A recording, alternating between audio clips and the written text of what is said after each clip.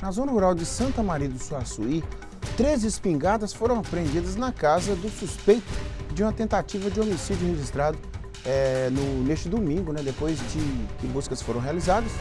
Tendo em vista a difícil localização da residência que fica no local conhecido como Córrego da Oncinha, os militares viram o imóvel aparentemente abandonado, né? Foram lá conferir.